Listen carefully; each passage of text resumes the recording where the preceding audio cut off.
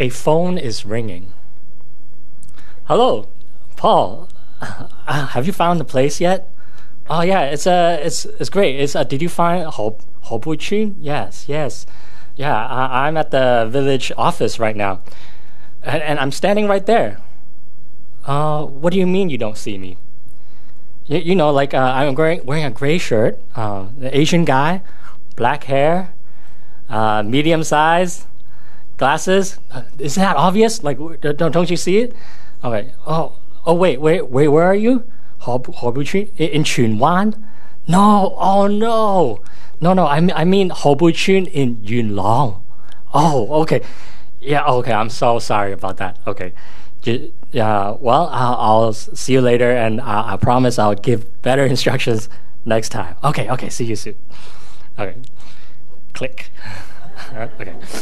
So I'm not sure how many of you have experienced going somewhere without clear instruction.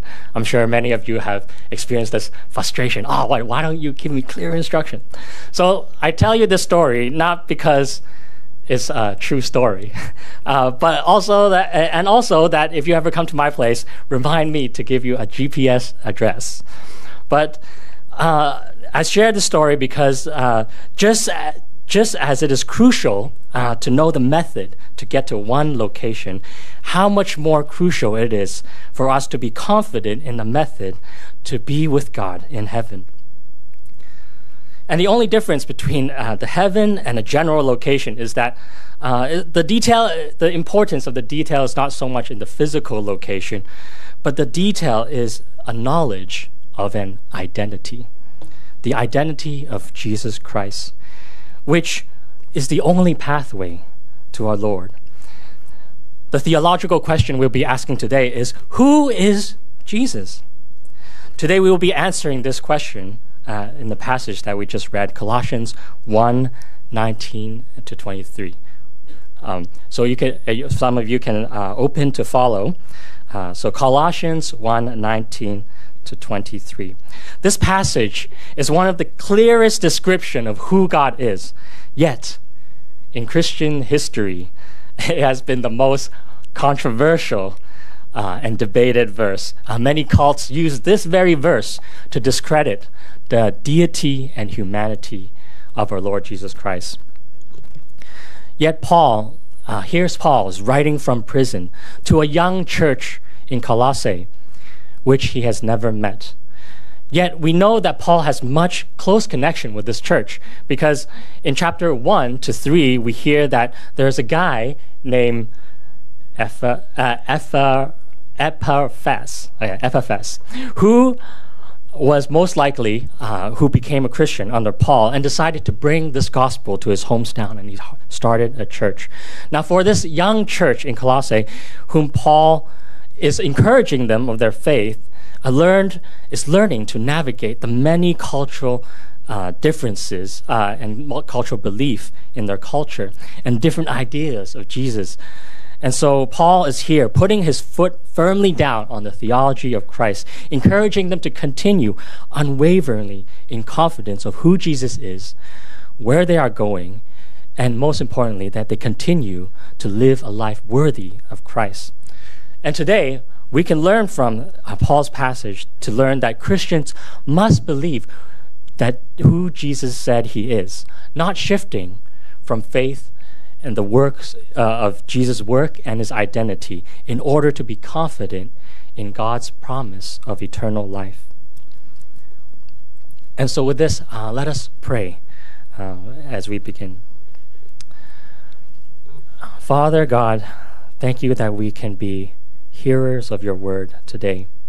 Thank you that you are speaking, God, that we don't have to guess uh, what you are like and who you are, but you speak clearly uh, through the passage and you have revealed it to your faithful servants. I pray this morning that you would speak to me, uh, speak through me, uh, and that we would be uh, able to hear uh, what you, your message today. Empower us with the clarity about your divinity and humanity so that we be confident in your promise and to live life worthy of you.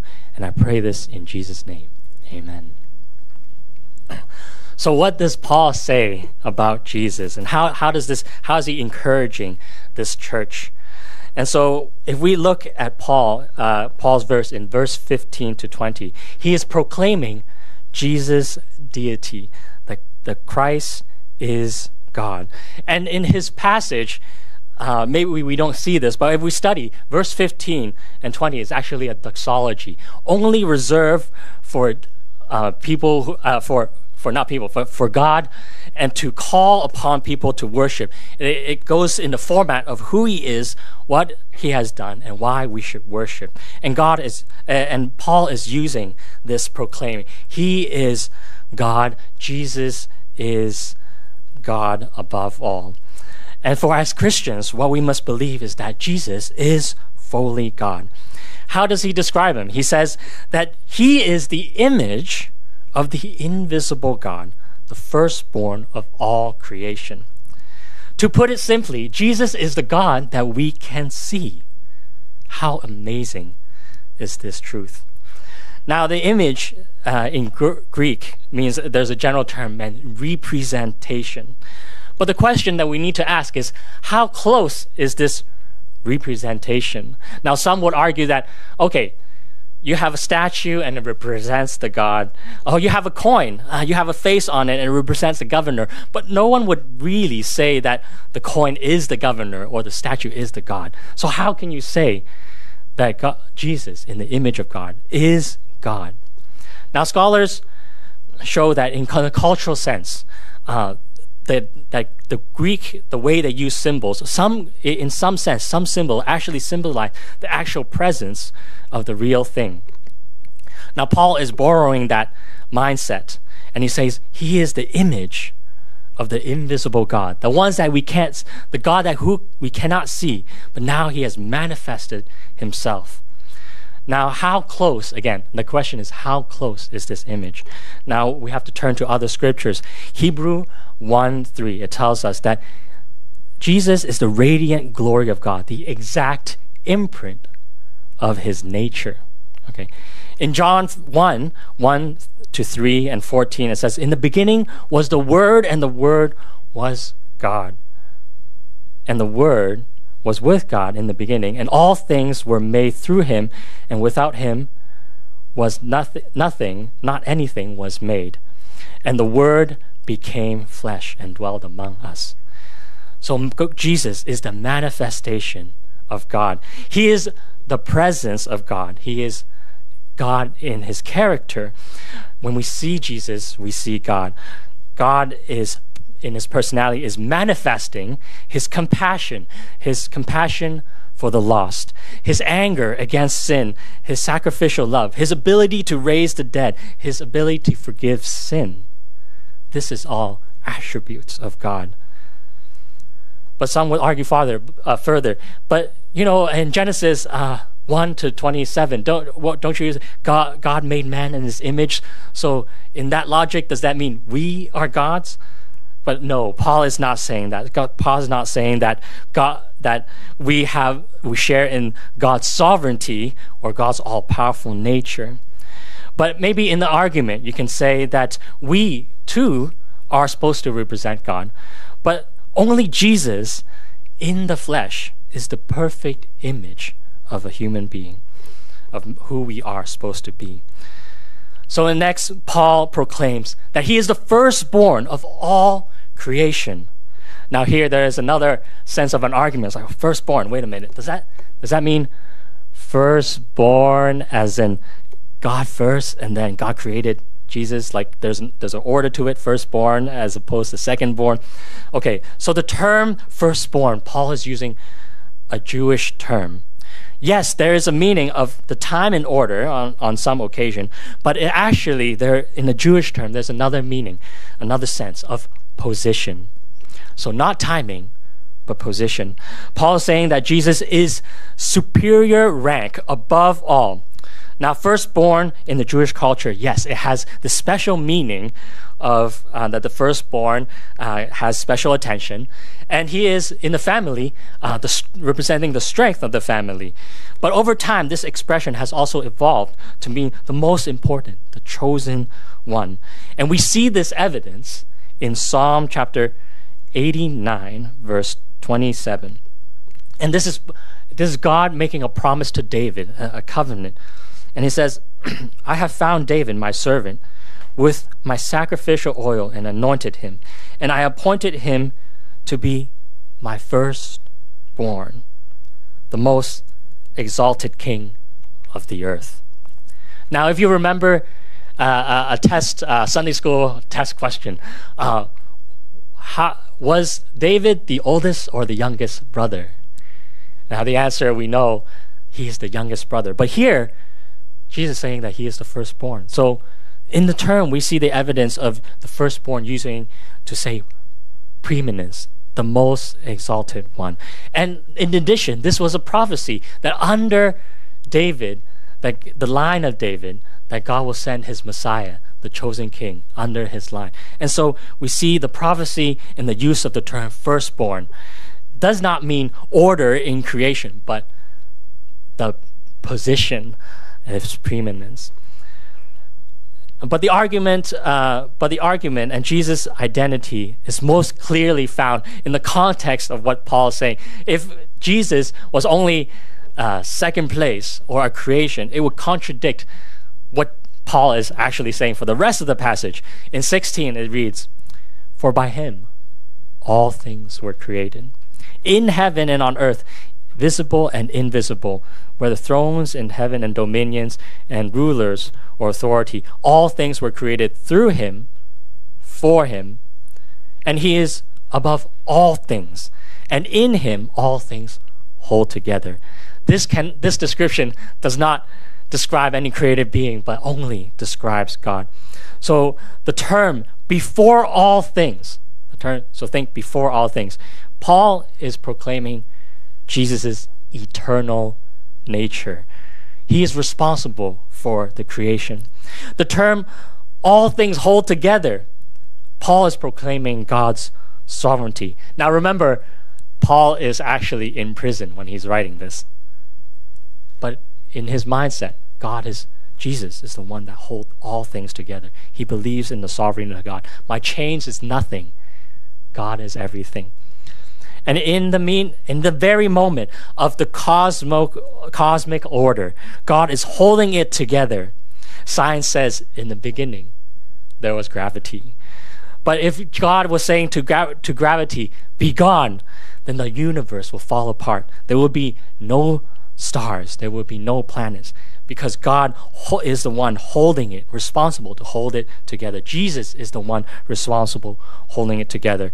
And the real reason why you and I are still breathing and our heart is pumping automatically is because God is holding you together.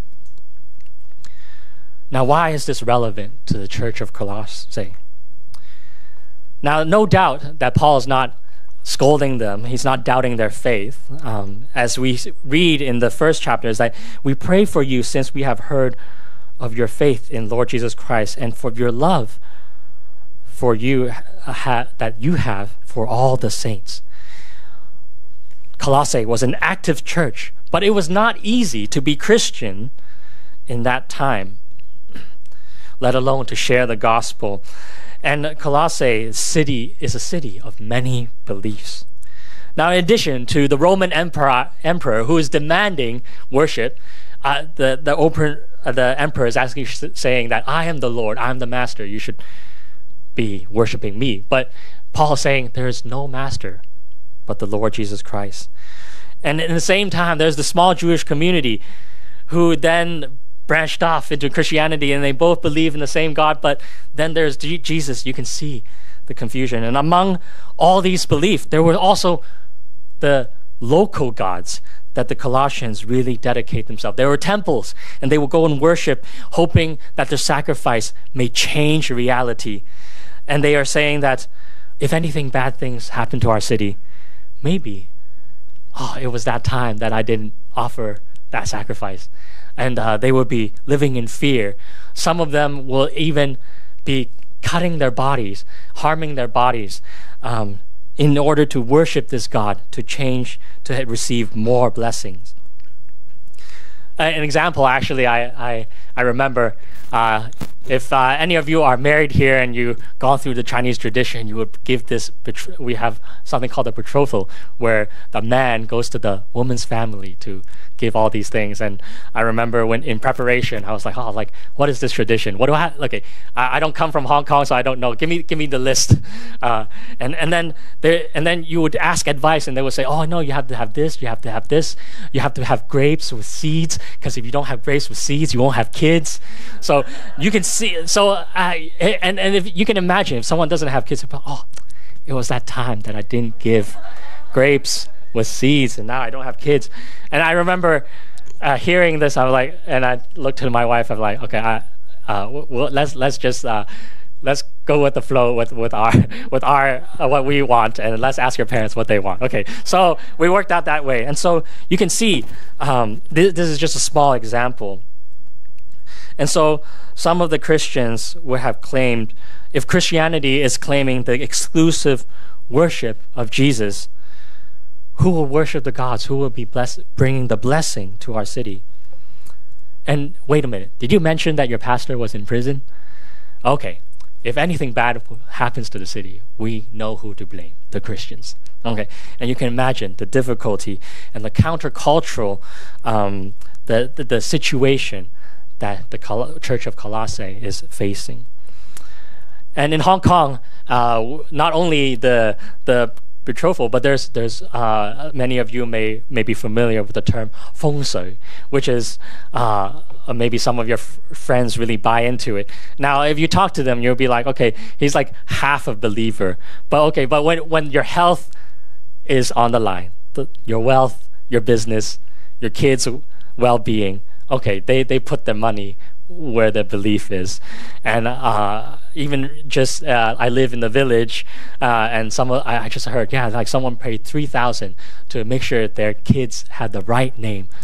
And in the, in the act, they're saying, I'm trying to change my fate of my kids. I need to come up with a good name so they have lucky. They are lucky. They will be blessed.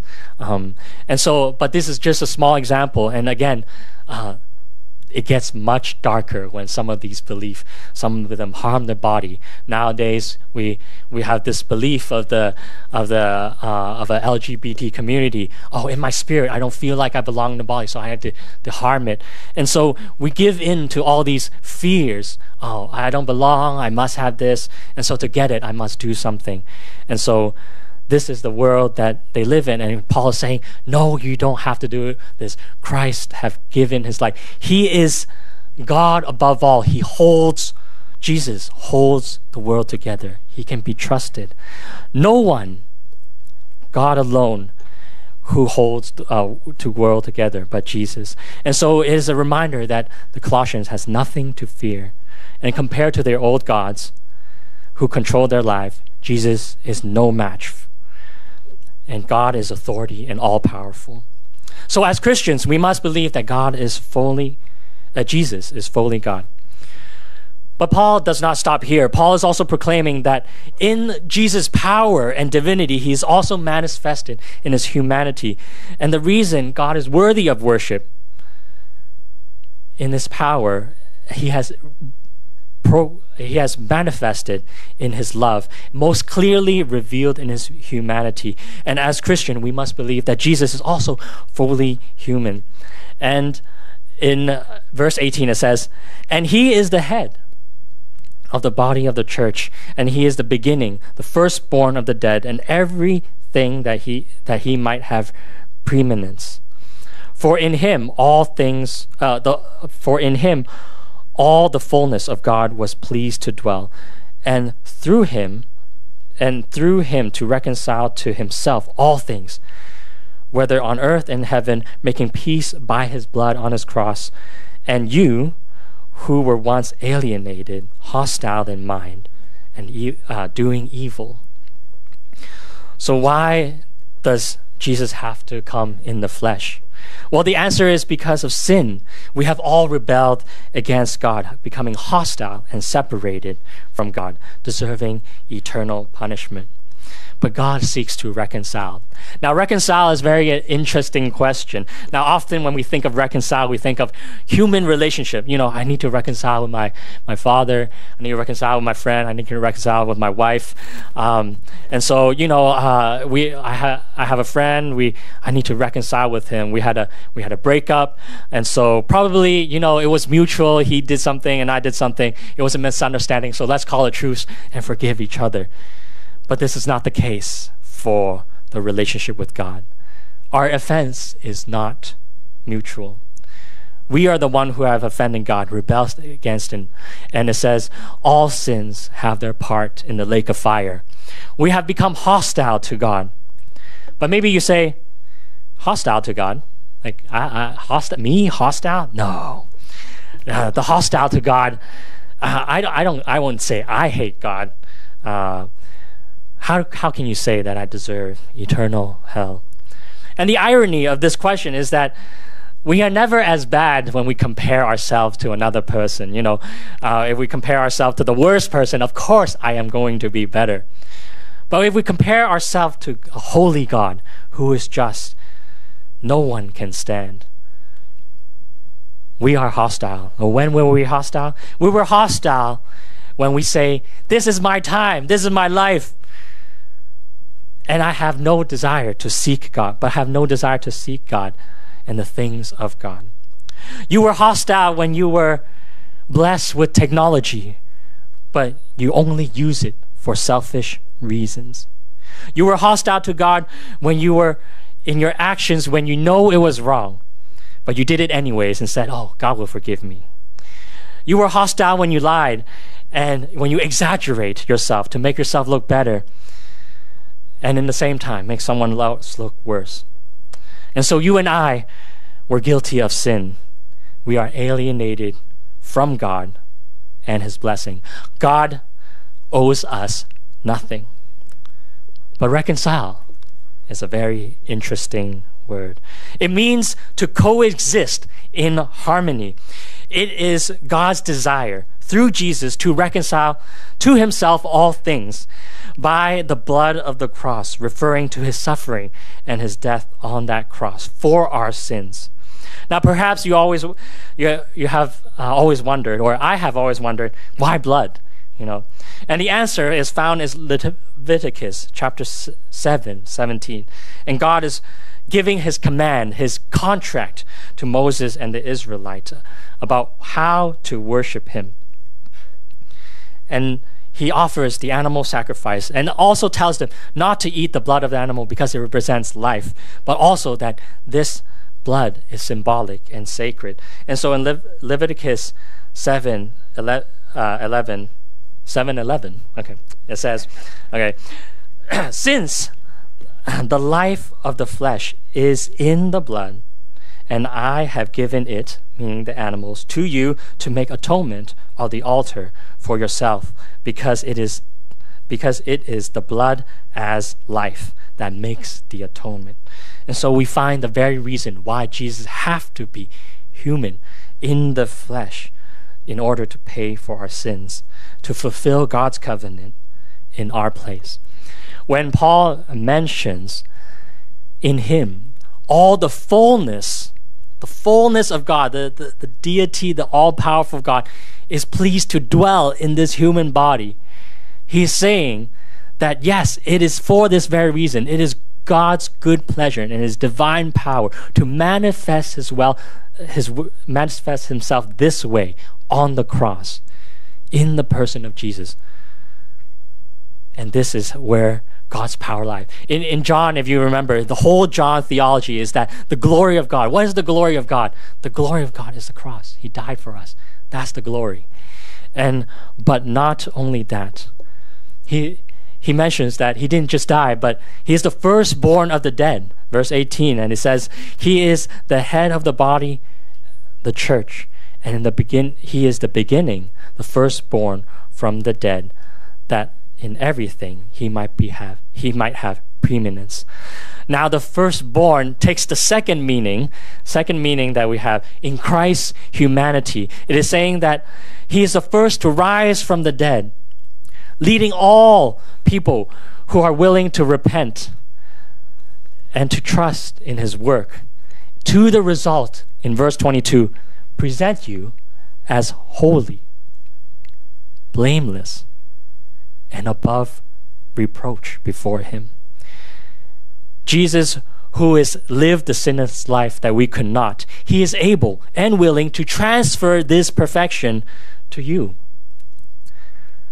And so when you come to God on Judgment Day, and God asks you why I should let you in my heaven, and the answer is God God has Jesus has transferred his perfect and sinless life to you so that you can have a blank slate and you are in, in, in the presence of God, our sins are wiped clean. God is saying to you that you are my son and you are my daughter. You have a seat at my table because I see the faith you have in Jesus, whom have died for you. And Paul warns us in verse 23, and, and this is a, a condition to this, that all the blessing is actually hinged on this issue. It says, if. Okay.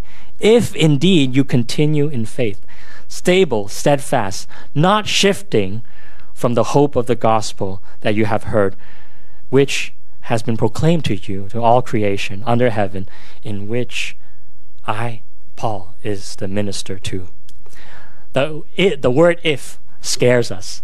Is it? It's like if, like oh, okay, if if I don't, does does that mean I lose my salvation?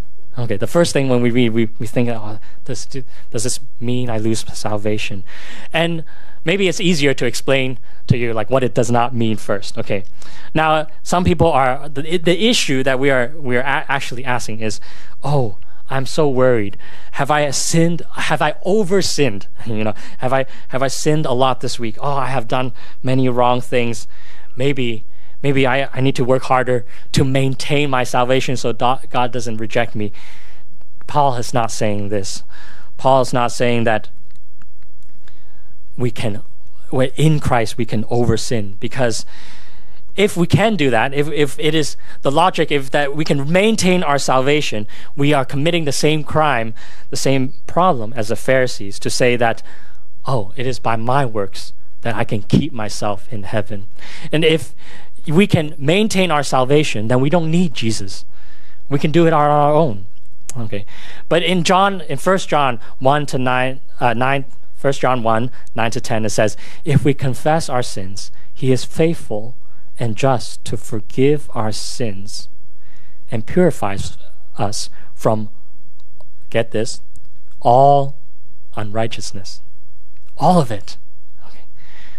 So it is not the issue of over sinning. Okay. We believe that Jesus has paid for our sins once and for all. But, call, but Paul is making a clear point that it is possible to shift from faith. So the question we have to ask is well, how, how do we actually shift from faith? Uh, I want to pass this exam, so I, I want to make, get, get this right. How do, how do I not shift from faith? What is Paul talking about? How do we, how do we not shift from faith? Now, often it happens that our faith need to be tested and to be found faithful in the identity of Christ.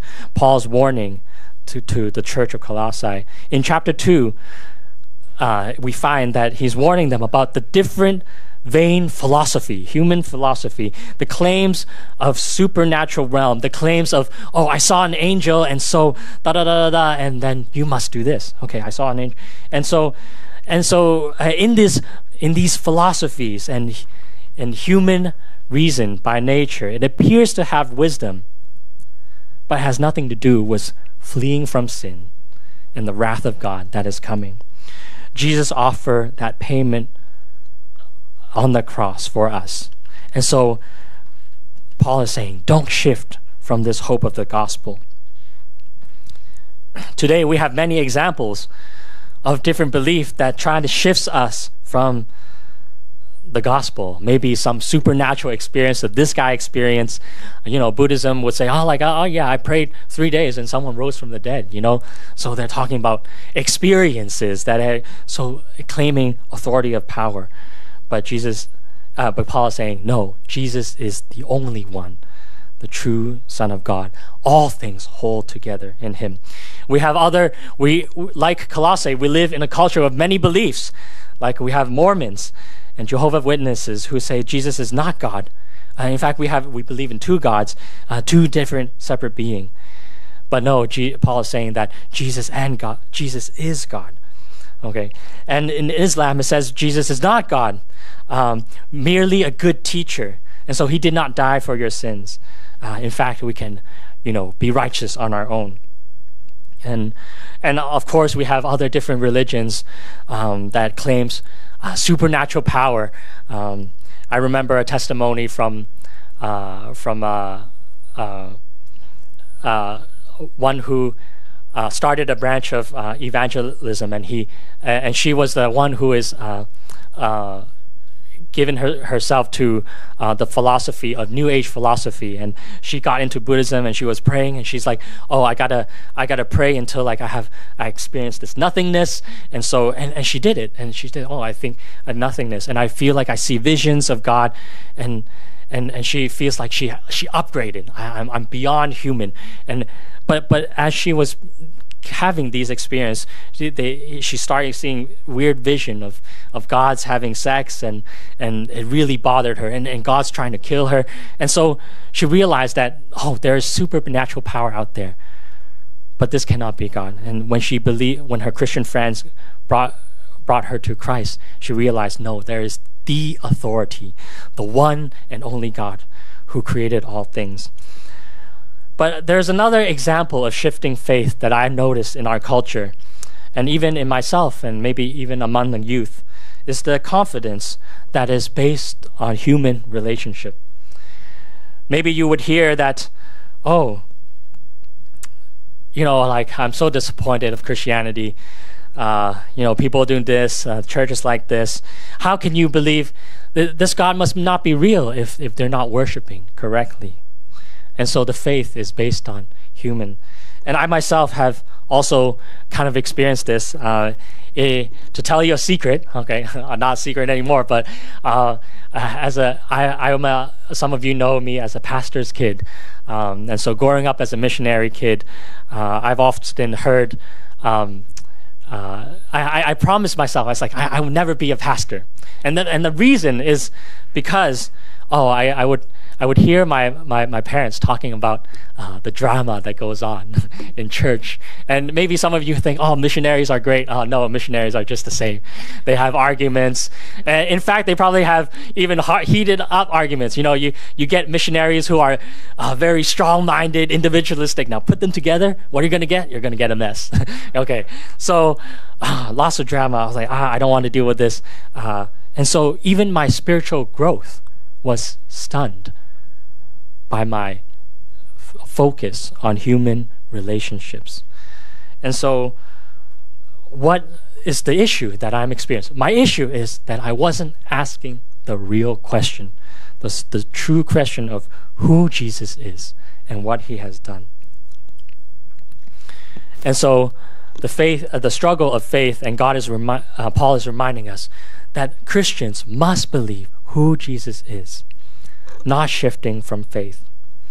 And we must ask the question who Jesus is and what he has done in, uh, in history. And so, in application, uh, we remember that Jesus, uh, that he is expressing that Jesus is fully God, fully man. He alone is eternal, the creator God, the firstborn of superior rank above all things. He alone is the one who paid the penalty for our sin. He alone is the authority of life, able to raise us, us from the dead, and he is able to present us as holy and blameless. And he alone holds all things together. And so, brothers and sisters, as Christians, remember that Jesus is truly God and truly man, and he is able to save us. Uh, let us pray.